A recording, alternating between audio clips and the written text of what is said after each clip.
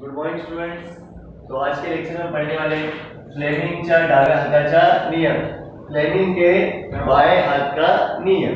ठीक है? ये हमारा बायां हाथ है।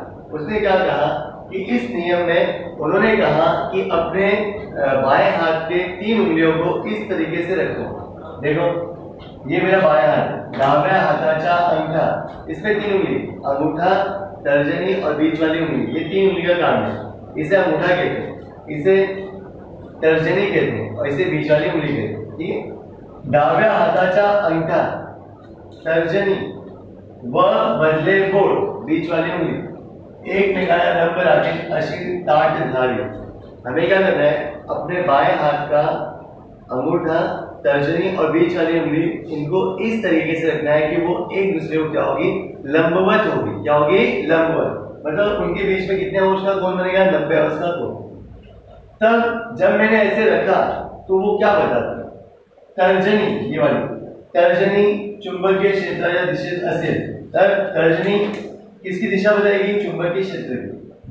मधले बोट विद्युत धारेच्या दिशेत असेल, तर अंगठा विद्युत वाहकावरील बलाची दिशा दर्शक असते. तो उन्होंने क्या कहा की फ्लेमिंगने कहा बघा, पहिले मराठीमध्ये सांगतो. की फ्लेमिंगने सांगितलं की आपल्या डाव्या हाताचे अंगठा तर्जनी व मध्यबोट अशी ताट धरावीत की ते लंब राहतील जर अंगठा, जर तर्जन तर्जनी चुंबकीय क्षेत्राची दिशा दाखवत असेल मधले विद्युत दिशेत असेल, तर अंगठा हा विद्युत वाहकावरील बलाची दिशा दाखवतो. हिंदी में अपने बाएँ हाथ का अंगूठा बीच वाली उंगली और तर्जनी और बीच वाली उंगली इनको ऐसे रखना है कि वो एक दूसरे के होगी लंबवत यदि तर्जनी किसकी दिशा दर्शाती है? चुंबकीय क्षेत्र की दिशा। बीच वाली उंगली विद्युत धारा की दिशा और हमारा जो अंगूठा है वो किसकी दिशा? उस वाहन पर उस चालक के ऊपर लगने वाले बल की दिशा को दर्शाता है। बस तुम्हें ये याद रखना है कौन सी उंगली कौन से अ, किसको दर्शाती है? बस इतना तुम्हें याद ये था फ्लेमिंग के बाएँ हाथ का नियम। क्योंकि यहाँ पे आकृति में यहाँ पे देखो ये दिख रहा है आकृति तुम्हें तो इसमें क्या है? ये अंगूठा है। देखो मैं इसको कुछ इस तरीके से रखता हूँ। अब ये वाली, ये बीच वाली उंगली इसमें बाहर ऐसे लिख सकता हूँ। ये अंगूठा है, ठीक है? ये तर्जनी के लिए और ये बीच वाली उंगली। ये था फ्लेमिंग के बाएँ हाथ का नियम। अब इसके बाद हम देखेंगे फ्लेमिंग के दाएँ हाथ का नियम। ठीक है?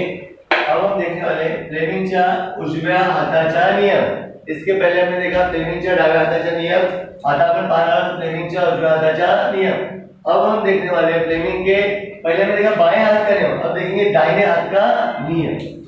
सिर्फ़ जहाँ उजव्या जहाँ डा, डावा होता तिथे काय लिहिलं तुम्ही उजव्या जहाँ बाया लिखा था वहाँ पे क्या लिखा है? सिर्फ़ दाया देखो डाव्या हाताचा सिर्फ़ क्या लिखा है? उजव्या हाताचा अंगठा तर्जनी व मधले बोट एकमेकाला लंब राहतील अशी ताट धरावी सेम आहे कुछ बदल नहीं, बस जिथे डावा होता तिथे काय केलं मी उजव्या अपने, पहले क्या था, बाएँ हाथ का, अब क्या कहता अपने दाहिने हाथ का अंगूठा तर्जनी और बीच वाली उंगली को ऐसे रखने पर कि वो एक दूसरे क्या होंगे लंब होंगे तो जो तर्जनी है तर्जनी किसकी दिशा दर्शाता है? चुंबकीय क्षेत्र की दिशा में अगर होगा तो अंगूठा विद्युत चालक के ऊपर जो बल लगे उसकी दिशा दिखाता होगा। तो हमारे बीच वाली उंगली जो थी देखो एफ़ बी आई एफ़ मतलब बल बी मतलब चुंबकीय क्षेत्र आई मतलब विद्युत धारा। पहले से विद्युत धारा की दिशा थी डावे हाथ पे। अब उजवे हाथ पे क्या करना है? सब सेम रहेगा। डावा का उजवा करना है डाव्याचा उजवा करायचा है बाएँ का दाया करना है, और जो विद्युत धारा है, उसके आगे एक वर्ड लिखना है, प्रवर्तित विद्युत धारा। क्या लिखना है? प्रवर्तित। ये वर्ड हिंदी में प्रेरित विद्युत धारा। अभी प्रवर्तित क्या होता है? प्रेरित क्या होता है? मैं बताता हूँ। प्रवर्तित मतलब अगर तुम समझो किसी गार्डन में खेल रहे हो, या गार्डन में खेलते खेलते अचानक तुम्हारे सामने सांप आ जाता है तो उस सांप को देख के तुम बहुत खुश होते हो यार तुम्हें डर लगता है। उसे देख के डर लगता ही मतलब वो क्या है? उस सांप के वजह से तुम्हारे अंदर डर पैदा हुआ। जबकि वो सांप ने तुम्हें पकड़ा नहीं, ना तुम्हें छुआ। दूर पर है। तुम्हारे बीच में गैप है स्पेस है। फिर भी तुम्हें देख के डर लग रहा है इसका मतलब उसे कहते हैं प्रेरित, प्रवर्तित, कि सांप के वजह से मेरे अंदर क्या पैदा हुआ? डर पैदा हुआ। उसी तरह ये वाहक के अंदर क्या होता है? चुंबकीय क्षेत्र का क्या होता है? निर्माण होता है। और उसमें जो विद्युत धारा होती है, वो चुंबकीय क्षेत्र बदलने की वजह से इसके अंदर आती है। उसे हम क्या कहते हैं? प्रेरित कहते हैं। क्या कहते हैं? प्रेरित म्हणजे प्रवृत्ती सेम नियम आहे. फ्लेमिंगच्या उजव्या हाताचा नियम. सब कुछ सेम रखणार बस. बघा आपल्या उजव्या हाताचा अंगठा तर्जनी आणि मध्य बोट अशी एकमेकांना धरल्या असतील एकमेकांना कशी लंब असतील जर अंगठा विद्युत वाहकावरील बलाची दिशा दाखवत तर्जनी चुंबकीय क्षेत्राची आणि मधले बोट प्रवर्तित विद्युत धारेची दिशा, प्रेरित विद्युत की दिशा दर्शाता है बस इतना ही सब सेम दोनों ज़्यादा हार्ड नहीं. अब थोड़ा सा प्रवर्तित का वर्ड का मतलब समझाता हूँ जैसे देख लो अच्छे से इसी में मैं रफ करता हूँ, बताने जा रहा हूँ कि वर्ड क्या होता है प्रेरित ठीक है?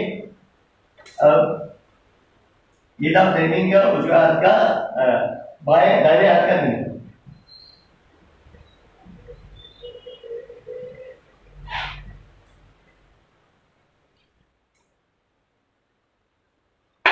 अब प्रवर्ती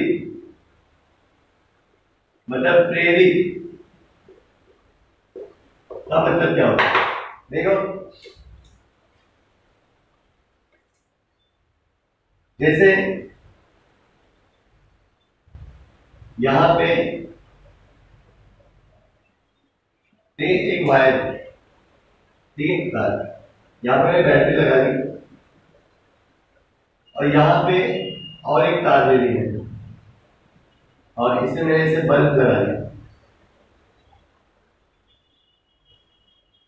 ठीक है प्लस माइनस। अब इसमें से विद्युत धारा जा रही अब जा रही ये ए है और ये बी है।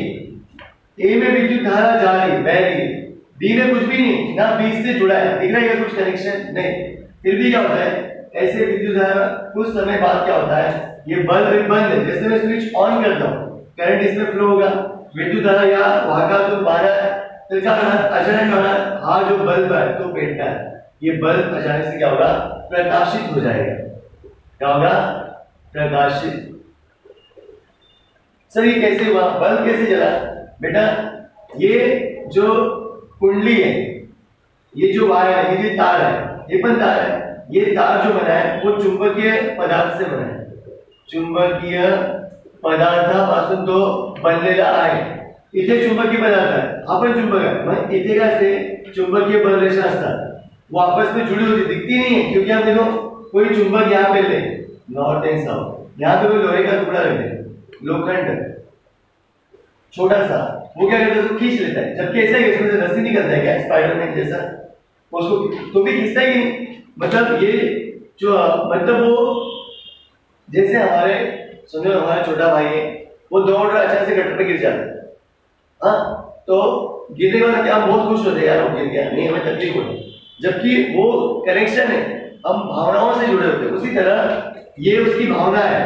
ये ये एक दोनों एक ऐसी भावना से जुड़े उस भावना को बोलते हैं चुंबकीय क्षेत्र। क्या बोलते हैं? चुंबकीय क्षेत्र। उससे वो जुड़े अब जैसे विद्युत धारा जाता है तो ये चुंबकीय क्षेत्र क्या होता है? बदलता है।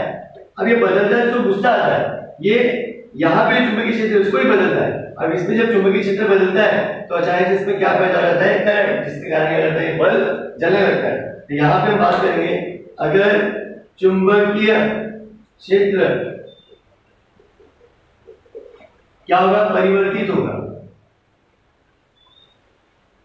परिवर्तित। तो किसका निर्माण होगा? विद्युत धारा का।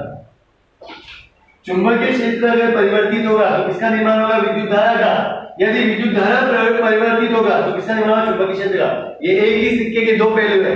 और जब तुम्हें चुंबकीय क्षेत्र बदलना तब विद्युत धारा निर्माण होते विद्युत धारा बदलना तो चुंबकीय क्षेत्र निर्माण होते तो यहाँ पे विद्युत धारा की वजह से चुंबकीय क्षेत्र बदला।